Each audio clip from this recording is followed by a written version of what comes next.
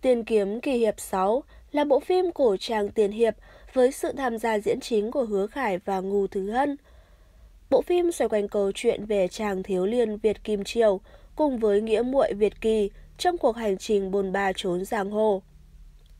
Trong một lần tình cờ, hai người gặp gỡ thiếu chủ Lạc Triều Ngôn. Cũng nhờ người này mà Việt Kỳ biết được thân thế người mẹ ruột của mình chính là cốc chủ Côn Băng, Trúc Ngữ. Bản thân cô luôn mong ngóng từng ngày có thể tìm thấy mẹ ruột của mình.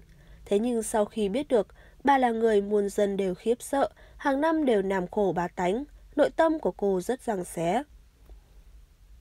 Sau nhiều biến cố xảy ra, Kim Triều và Việt Kỳ vẫn luôn giữ vững lòng chính nghĩa của mình. Họ cùng với sự giúp đỡ của Lạc Triều Ngôn đã phát hiện ra nhiều bí mật động trời, cứu giúp muôn dân bá tánh khỏi cơ hàn. Ký kênh để cập nhật những thông tin mới nhất. Cảm ơn và hẹn gặp lại quý vị và các bạn trong những video tiếp theo.